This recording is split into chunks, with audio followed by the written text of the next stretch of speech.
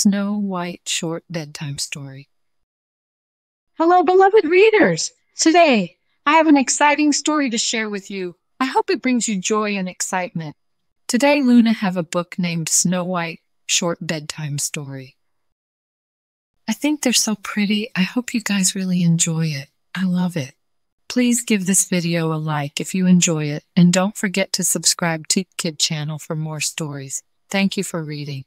So, here we go.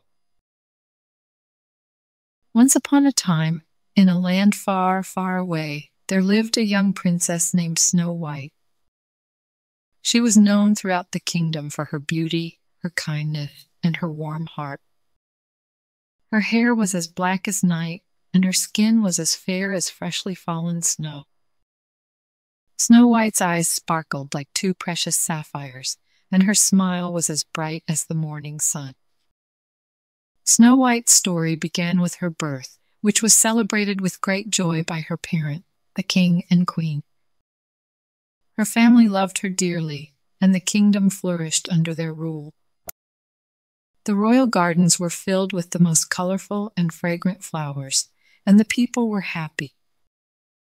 The wicked queen had a magical mirror that could tell her who the fairest person in the kingdom was. For years she had admired herself in the mirror, believing she was the most beautiful.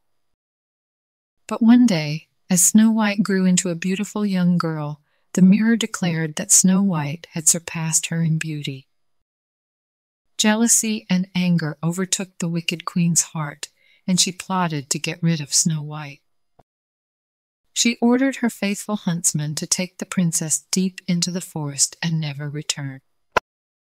The huntsman, who was kind hearted and could not bear to harm the young princess, took her far into the woods but let her go, leaving her to find her way.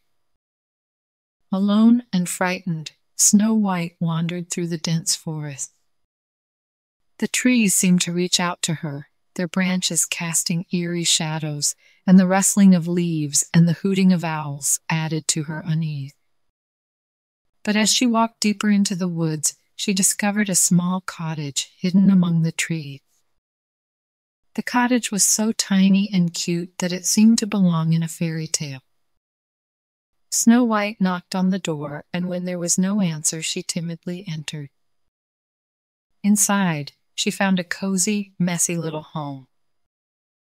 There were seven small beds, a table filled with half eaten bowls of porridge, and an array of tiny chairs. The place looked like it belonged to seven little people. Snow White felt tired and hungry, so she decided to clean the cottage and prepare a meal for its inhabitants. She sang as she worked, and her voice was so sweet that it echoed through the woods. Meanwhile, the cottage's owners were not children, but seven dwarfs who'd been living there for years. They were miners who spent their days digging for precious gems. When they returned home that evening, they were surprised to find their cottage neat and clean and a delicious smelling meal waiting for them. Snow White was just as surprised as the dwarfs. They all introduced themselves, and she explained her story how her wicked stepmother had tried to harm her, and how she had become lost in the wood. The dwarfs felt sorry for Snow White and offered her a place to stay. She gladly accepted their kindness and soon became their friend. She helped with the cooking, cleaning, and tidying up, and the little cottage became a warm and happy home. The wicked queen, back at the palace, learned from her magic mirror that Snow White was still alive and living with the dwarfs. Consumed by jealousy, she decided to take matters into her own hands. She would go to the cottage herself and get rid of Snow White once and for all.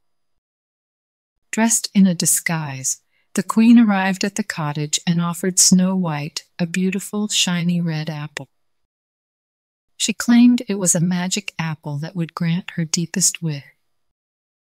But the queen had poisoned the apple, and she knew Snow White would not be able to resist its beauty.